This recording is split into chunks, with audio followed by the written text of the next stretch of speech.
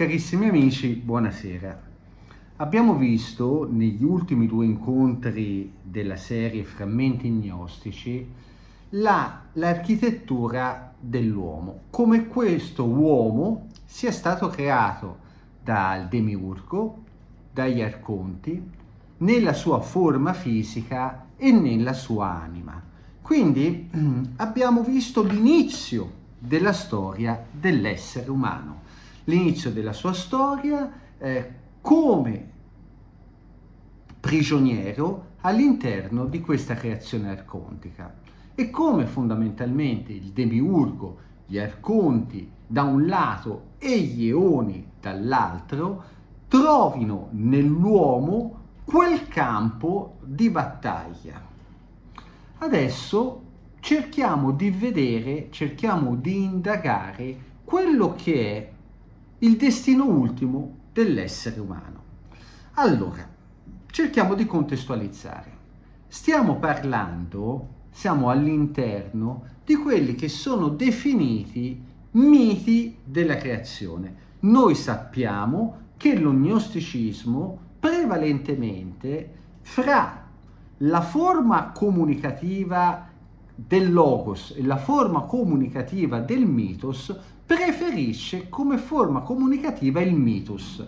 Perché? Perché lo gnosticismo attraverso le scuole gnostiche che furono attraverso il mito comunica un numero di informazioni, di immagini sicuramente maggiori rispetto che all'interno di una comunicazione dialettica razionale e queste informazioni sono rivolte a solleticare il ricordo intimo, profondo di quello che noi adesso sappiamo essere quel nucleo che all'interno dell'uomo è stato inserito dagli eoni. E l'abbiamo visto perché? Perché attraverso questa operazione mirano a distruggere l'ordinamento demiurgico e a fare riassorbire tutto questo prolasso psichico e, e spirituale all'interno del pleroma. I miti della creazione possono essere ripartiti in miti cosmogonici sono miti cosmogonici, cos'è? Sono i miti che parlano della creazione dell'universo e dei pianeti. Abbiamo poi i miti cosiddetti teogonici. Che cosa sono i miti teogonici? I miti che parlano degli origini degli dei, dei loro amori, delle loro imprese, dei loro odi e quant'altro. Abbiamo infine abbiamo, non infine, abbiamo anche i miti antropogonici, che sono i miti sull'origine e l'evoluzione dell'uomo. Poi abbiamo un'altra categoria, che sono i miti escatologici, cioè i miti che indagano, l'escatologia che cos'è? È, è ultimo, deriva dal greco antico eschatos, che significa ultimo, e in teologia, nelle religioni, in mitologia, in filosofia, è, que- è quella speculazione umana che indaga sul destino ultimo dell'individuo, dell'intero genere umano, ma anche dell'universo. Quindi, noi abbiamo già visto come è nato l'universo demiurgico, noi abbiamo già visto come è nato il demiurgo, come sono nati gli arconti, quindi miti teogonici, abbiamo visto come è nato l'uomo, quindi abbiamo visto anche il mito antropogonico, adesso andiamo a vedere il destino ultimo, l'escatologia dell'uomo, che vi dirò che in alcune scuole gnostiche, specialmente tardive, come i Catari, coincide, il destino ultimo dell'uomo coincide col destino ultimo dell'universo. All'interno dell'agnosi e il mondo arcontico, cioè all'interno della scuola barbelotiana, troviamo la narrazione del destino ultimo dell'uomo, proprio c'è un paragrafo con questo titolo, nel libro segreto di Giovanni. Che cos'è il libro segreto di Giovanni? Si riferisce a Giovanni l'Evangelista che dopo la morte di Gesù in qualche modo si ritrova isolato da tutti gli altri discepoli, da tutti gli altri eh, seguaci di Gesù e viene in qualche modo raggiunto da rabbini, da persone che erano contrarie a questi insegnamenti che iniziano a chiedere dov'è, dov'è, dov'è il tuo maestro. Giovanni eh, si sente pressato, ha paura anche per la propria vita, è pieno di dubbi e si ritira. Si ritira e lì riceve la visita del Salvatore, del Salvatore nella sua veste di rivelatore. L'ognosticismo si articola, l'ognosticismo non ha una dimensione, come abbiamo già detto, universale, non, um, non si rivolge all'intera umanità in maniera indifferenziata, ma offre un dialogo, offre una risposta individuale. A chi? A quell'uomo che riesce a entrare in contatto con il messaggero, con il rivelatore, con Leone, cioè con colui che, inviato da un piano superiore, comunica una determinata verità. In questo caso è il Salvatore, è lo stesso Gesù Cristo, nella sua figura di eone di spirito che individualmente comunica a Giovanni determinate informazioni. Sono molte queste informazioni, noi adesso ci concentriamo su quella che è l'escatologia, su quello che è il destino ultimo dell'uomo. Io vi leggo queste sei domande e le sei risposte e cerchiamo di commentarle assieme. Qui è Giovanni che parla. Ho chiesto al Salvatore, il Salvatore rivelatore, maestro, maestro, quindi si configura un rapporto fra colui che è in grado di insegnare e colui che è in grado di imparare. Maestro, tutte le anime saranno quindi condotte in modo sicuro verso la luce pura? Tradotto, maestro, tutte le anime, ricordatevi, eh, nell'ognosticismo c'è il concetto di anima. Saranno, torneranno al pleroma, al mondo della luce, perché questo è il mondo delle tenebre? Risposta.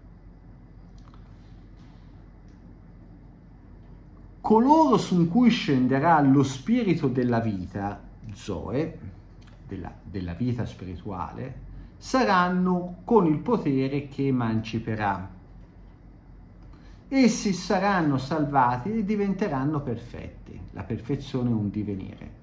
Degni di grandezza e purificati da tutto il male e dalle angosce della malvagità, poiché niente bramano, niente bramano delle cose di questo mondo. Eh? Vi ricordate gli elementi che erano stati inseriti da parte degli arconti nella loro composita strutturazione dell'anima? L'anima nell'ognosticismo, una parte è espressione di Sofia Zoe, cioè degli eoni, una parte degli arconti. Essi si devono preoccupare, poiché niente bramano, tranne che l'essere incorruttibili, essi non si devono preoccupare da questo momento in poi, senza rabbia, senza gelosia, senza invidia, senza desiderio di avidità e quant'altro.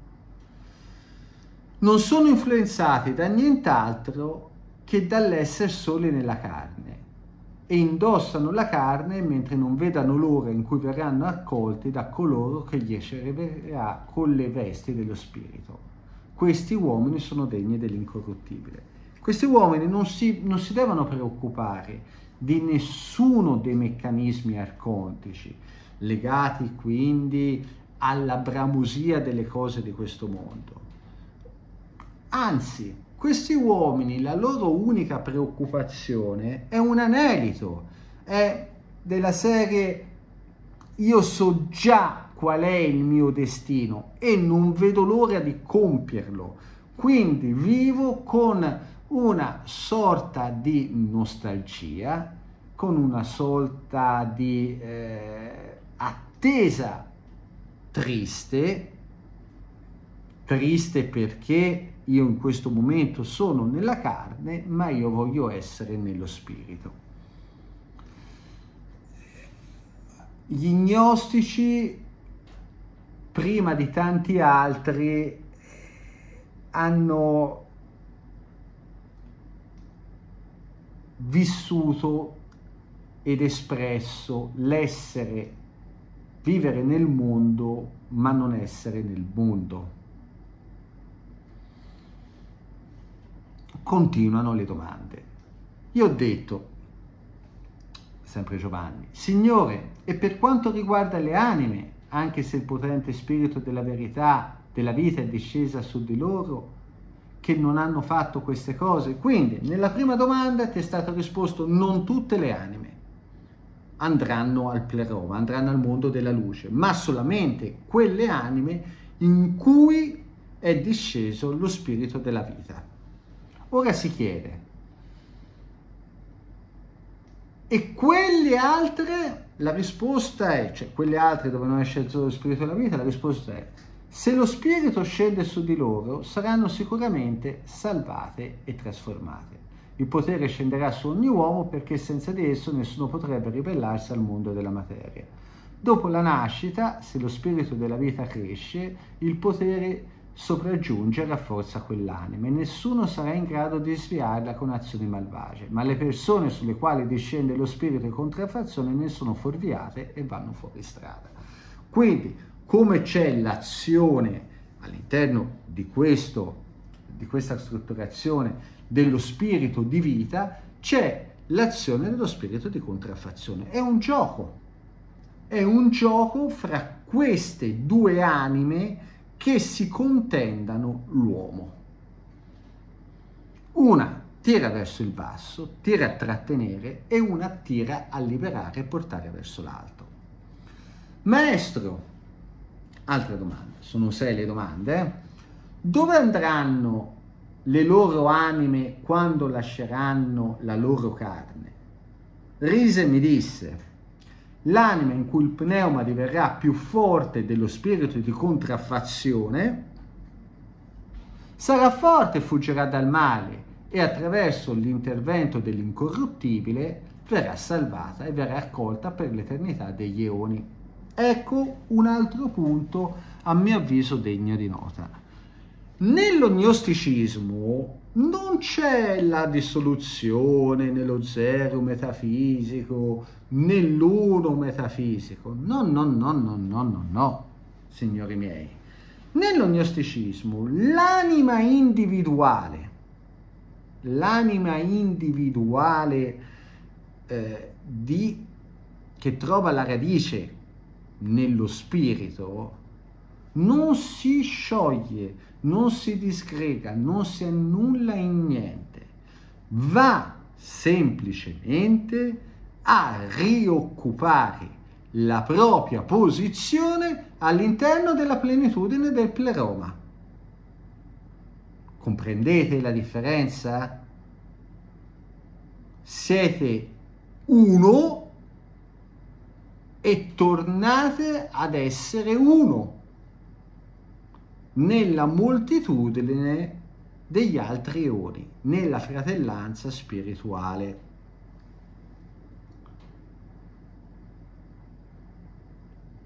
Dissi, sempre Giovanni, Maestro, dove andranno le anime delle persone che non hanno saputo a chi appartengono? Lo spirito spregevole è diventato più forte in queste persone, mentre si stavano smarrendo. Tutti noi ci stiamo smarrendo, oggi più che mai, eh? Questo spirito pone un pesante fardello sull'anima, la conduce nel male la scaglia nell'oblio. La conduce nella reiterazione del male, che abbiamo visto provenire dall'ignoranza, e la scaglia nell'oblio, cioè nella dimenticanza della tua origine. Dopo che l'anima lascia il corpo, viene consegnata alle autorità che sono venute in essere attraverso il primo arconte. La legano con catene e la gettano in prigione. il ciclo delle reincarnazioni all'interno di questi corpi plasmati dall'azione degli arconti. La perseguitano fino a quando non si sveglierà dall'oblio e acquisirà conoscenza. Solamente a questo modo raggiungerà la perfezione salvata. Tradotto, fin tanto che un'anima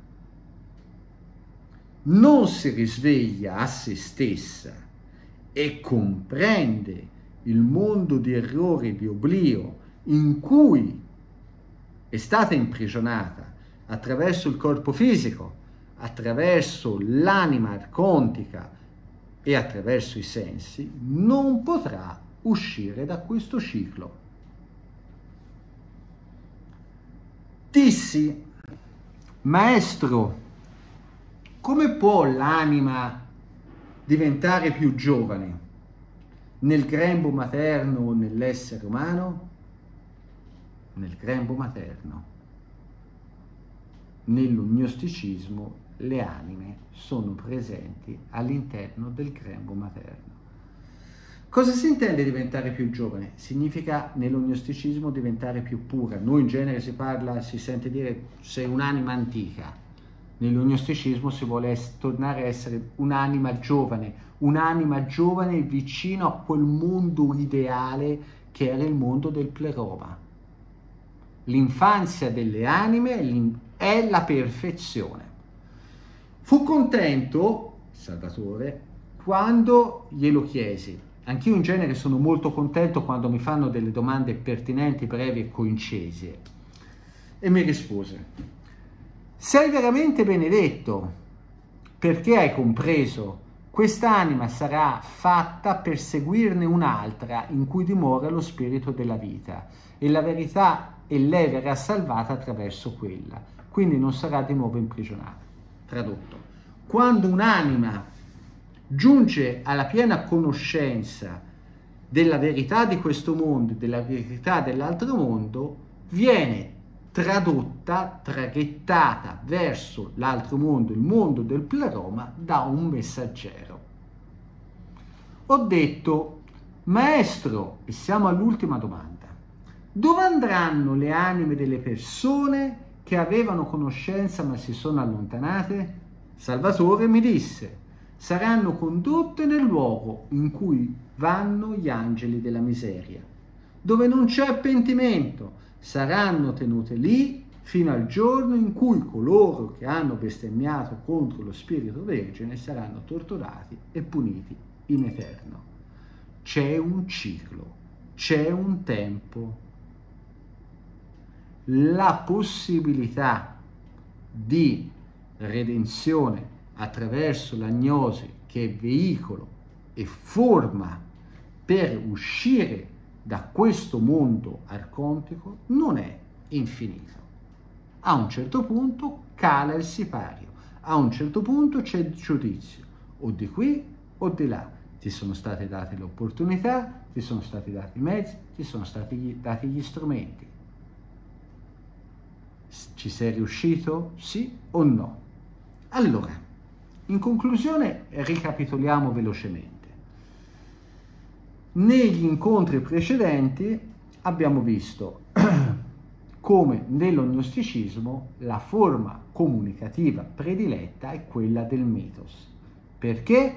Perché attraverso il mitos vengano veicolate più informazioni, attraverso cosa? Attraverso una narrazione immaginifica che è quello strumento di comunicazione attraverso cui si cerca di bypassare una mente razionale, una mente che giudica, una mente reattiva, una mente che fondamentalmente ha, trova la sua massima impiego e utilità nel disporre, nel creare delle relazioni fra i fenomeni e l'uomo, ma che in genere è molto poco educata o molto poco propensa a trovare un dialogo profondo. Con chi va trovato questo dialogo profondo?